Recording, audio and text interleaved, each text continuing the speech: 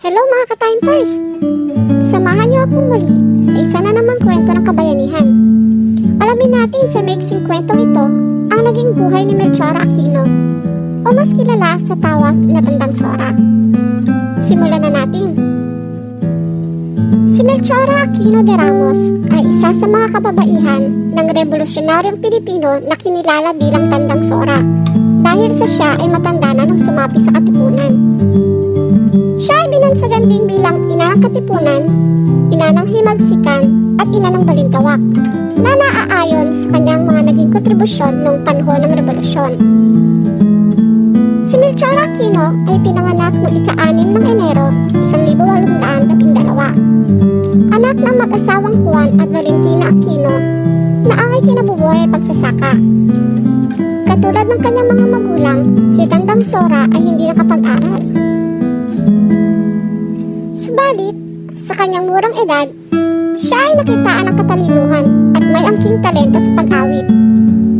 Siya ay nagtatanghal sa mga lokal na okasyon at sa mga misa para sa kanyang simbahan.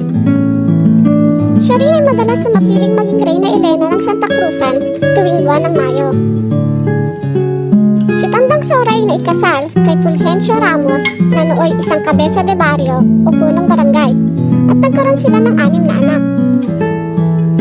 Pitong taong gulang pa lamang ang kanilang bunsong anak nang pumanaw ang kanyang kabiyak at naiwan sa kanya ang kanilang anim na anak at mag-isa niyang itanaguyod ang mga ito.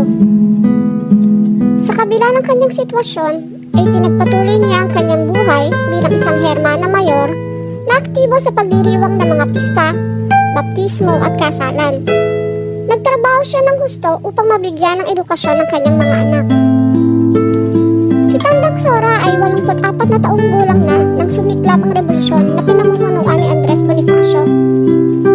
Upang makatulong noong panahon ng himagsikan, siya ay nagtayo ng isang tindahan na naging kanlungan para sa mga may sakit at sugatang revolusyonaryo.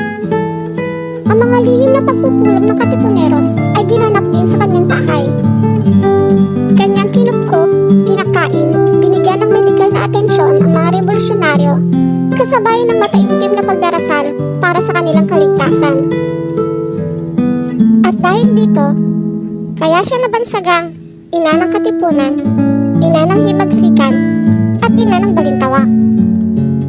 Noong ikadalawamput-tatlo ng Agosto, 1876, kasama ang kanyang anak na si Juan Ramon, sila ay sumama at naging saksi sa makasaysayang sigaw ng pugad lawin, kung saan pinunit ng mga sumapi sa katipunan ang kanilang mga sedula na pinangunahan ni Andres Bonifacio. Tinulungan ni Melchor Aquino ang mga revolusyonaryo at binigyan ng isandaang kaba na bigas at sampung kalabaw. Makalipas ang anim na araw, noong ikadalawamputsyam ng Agosto, siya ay naresto ng mga Kastila at binihag sa bahay ng kabesa de barangay ng Pasong Putik sa Novaliches. Pagkatapos ay nilipat siya sa Bilibid Prison sa Maynila, isang araw matapos siyang arestuhin. Habang nasa bilangguan, siya ay siniyasat at pilit na hinihingian ng mga impormasyon tungkol sa kilusan. Ngunit, nanatili siyang tapat sa layunin at hindi isinuko ang impormasyon tungkol kay Bonifacio at sa iba pang mga katipunero. At dahil dito, siya ay pinatapuan sa Marianas Island sa Guam ni Gobernador General Ramon Blanco noong ikadalawa ng Setyembre 1876 kasama ang isang babaeng nagngangalang Segunda Fuentes.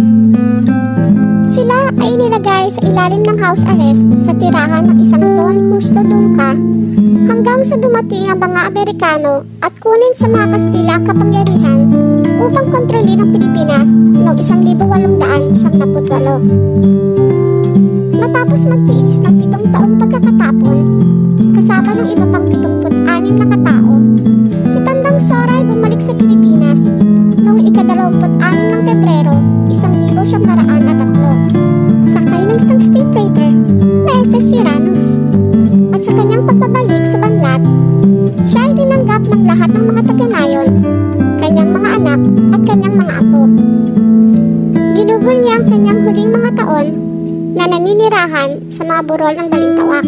At dahil sa kanyang edad, hindi na siya nakapagtrabaho at umasa na lamang sa kanyang mga anak at apo para sa kanyang pamumuhay.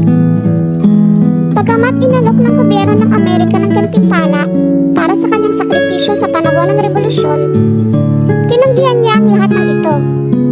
Ninais lamang niya na siya ay makapag-ambag sa revolusyonaryong layunin para sa Pilipinas.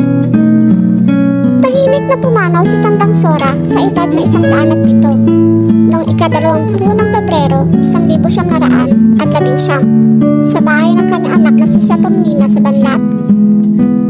Ang kanyang mga labi ay nilagak sa Mausoleo de los Veteranos de la Revolucion sa Manila, sa North Cemetery, kung saan ito nanatili hanggang isang libo siyam naraan, anim na siyam. At pagkatapos ay inilipat ito sa Himlayang Pilipino kung saan itinatayo ang dambana ng mga bayaning Pilipino. At noong ika-anim ng Enero, 2012, ang mga labi ni Tandang Sora mula sa Himlayang Pilipino kung saan siya nanatili ng 42 taon patungo sa kanyang huling pahingahan sa Tandang Sora Shrine sa Banlat Road, Quezon City.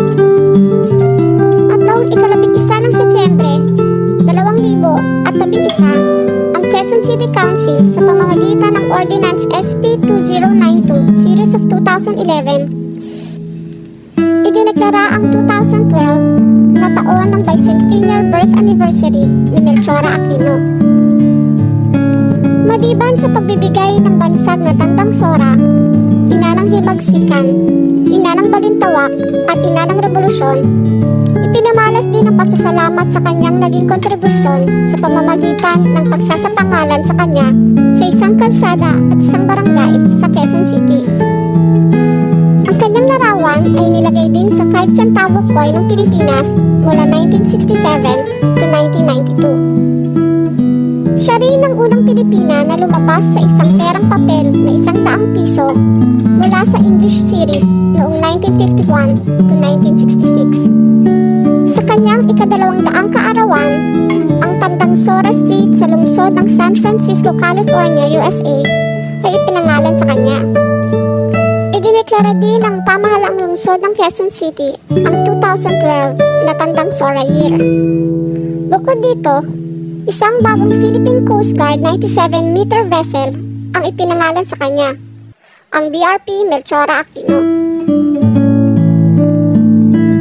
Bawat Pilipino noong panahon ng revolusyon ay nagpakita ng pagmamahal at pagmamalasakit para sa kalayaan ng Pilipinas. At ang kontribusyon ni Melchora Aquino ay di kailanman matatawaran at malilimutan. Sana ay may natutunan kayo sa kwentong ito. Huwag po sana ninyong kalimutang mag-like, mag-share at mag-subscribe upang ma-notify po kayo sa mga susunod pa nating videos. Muli, maraming salamat po.